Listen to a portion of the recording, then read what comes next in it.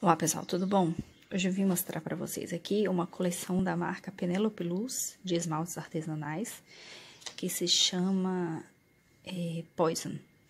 Eu escolhi essa coleção porque ela é de 2015, mas apesar de ser antiga, ela só tá saindo de linha agora. Então, é, ainda tem alguns esmaltes disponíveis e eles não serão mais repostos. Ela, ela vai parar de fazer, ela parou de fazer os esmaltes dessa coleção. Então, eu vim mostrar para vocês porque, caso vocês gostem e tenham interesse, é, as últimas unidades estão à venda no site da Penelope Luz e estão é, em um preço promocional, tá? Então, achei interessante vir mostrar para vocês, principalmente porque é uma coleção que eu gosto bastante, tá? São esmaltes bem bonitos, que cobrem bem, não são só topper, sabe? São esmaltes de cor mesmo, que cobrem sozinhos, e é uma coleção que eu gosto muito, tá? Então, eu vim mostrar para vocês a coleção e nós vamos usar um deles, nós vamos esmaltar juntas com um deles.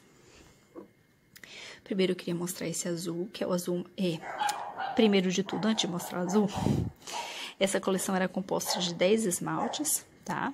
Tem um rosa mais claro que se chamava, é, chama Desert Rose, que eu não, não cheguei a comprar. E também tem um azul mais claro que se chama, chama Hortense, que eu também não comprei, tá? Mas, é, primeiro que eu queria mostrar para vocês é esse azul mais escuro da coleção. Desculpa o barulho do cachorro do vizinho. Esse o azul mais escuro da coleção, que se chama O Leandro. Se eu achar fotinho, eu vou deixar aqui para vocês verem, tá?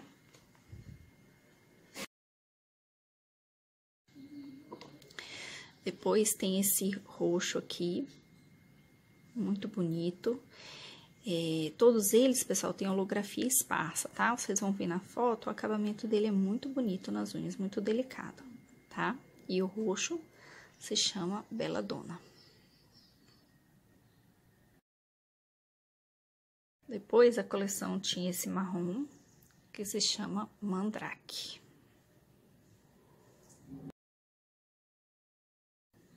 Além do Desert Rose, que era um rosa claro, tinha esse rosa aqui que era mais fechado, que eu preferi, e se chama Opium.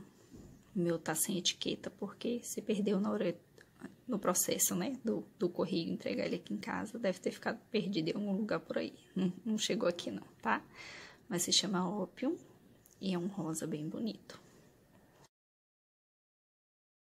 Também tem esse verde escuro, um verde floresta, tá? Que se chama Veratron.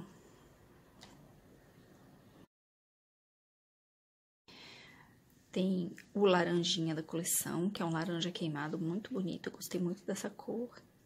E se chama Datura.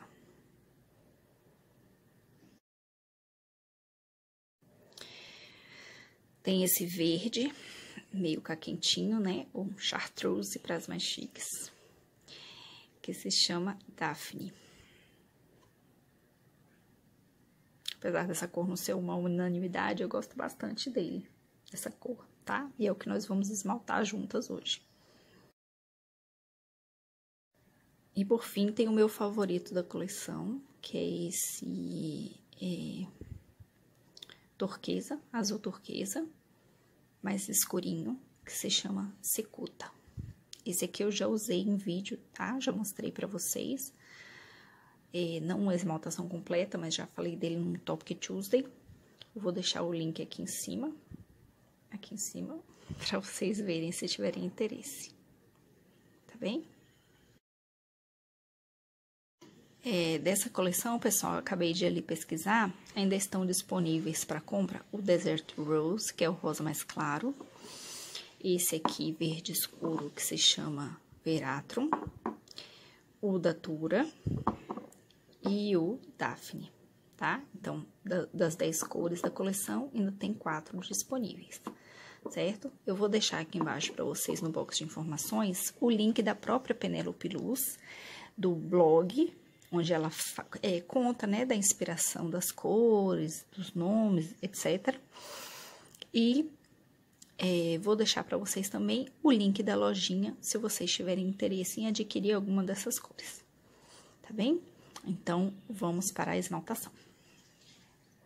É, hoje eu me lembrei, já que eu vou abrir esse esmalte e começar e colocar a bolinha dele agora, para ele homogeneizar, vocês perguntam bastante das, das esferas que eu uso para homogeneizar os esmaltes. São essas aqui, tá, pessoal? É uma esferinha de alumínio tal, sem muito mistério. Eu comprei numa loja que chama Born Pretty Store. Ela, ela vende diretamente no site dela e ela também tem no AliExpress. Mas é uma esferinha de alumínio comum, tá? Sem muito mistério.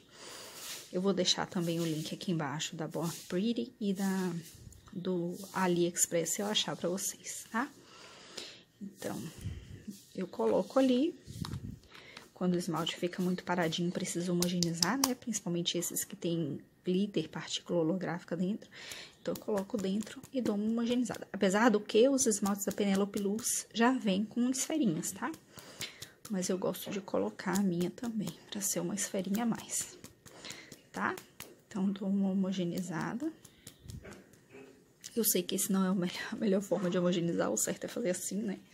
Mas demora bastante hoje eu não tô com tempo, não, tá? João já tá dormindo tem um tempo e eu tô com... Tô corrida aqui pra fazer a, a esmaltação com vocês, tá? Então, vamos lá. Primeira vez que eu uso essa cor aqui com vocês, tá, pessoal? Então, vamos ver o desempenho do esmalte juntas, juntos.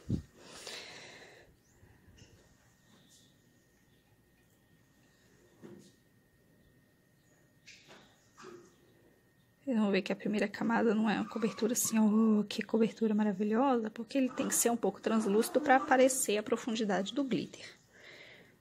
Tá? Aí. Certo? Mas na segunda camada isso se resolve. Como eu tô com a unha mais compridinha, talvez seja preciso uma terceira camada, mas isso a gente vê no processo, tá? Então agora eu vou ficar quietinha para poder adiantar o vídeo, vocês me acompanhem aí.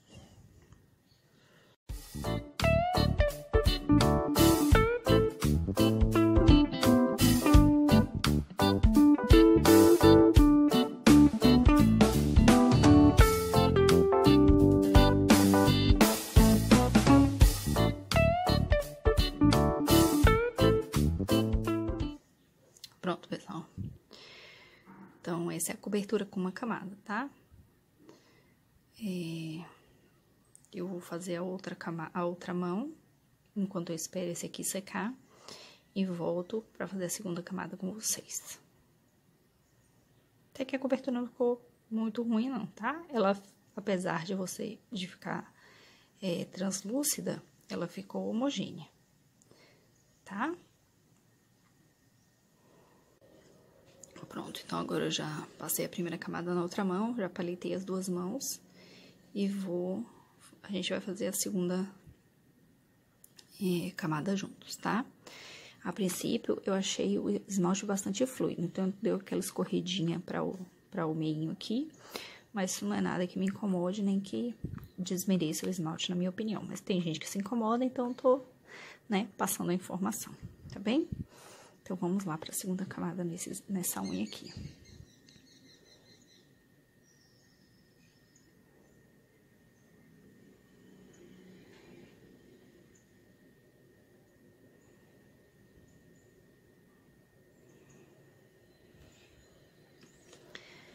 Aí, ó.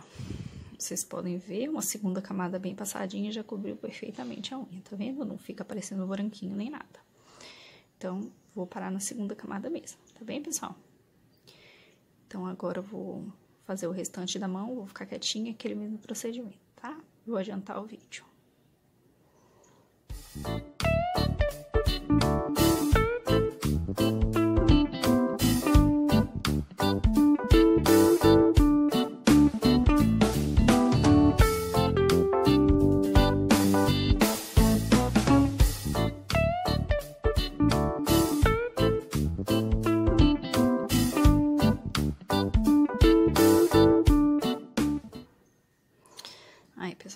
Segunda camada aplicada, tá?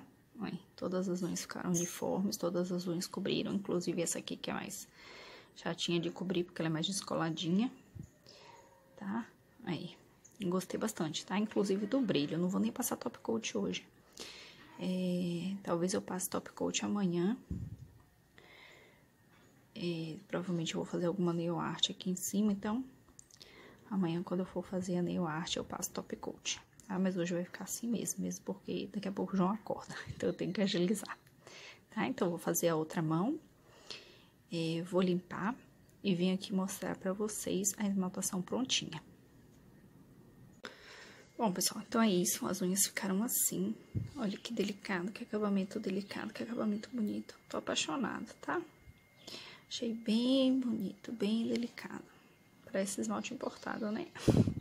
Na verdade, esses artesanais todos são feitos com matéria-prima importada, né? E bem fina, bem delicada, matéria-prima mais cara, né? Então, por isso que eles ficam mais caros um pouco.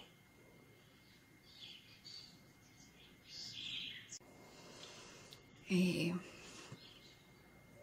Mas eu gostei bastante do acabamento, tá? E duas, duas camadas ele cobriu perfeitamente, esse brilho é todo dele mesmo. Eu não passei extra brilho realmente, como eu falei pra vocês que não ia passar, tá? Provavelmente eu vou fazer uma nail art em cima dele. É... Mas então é isso, pessoal.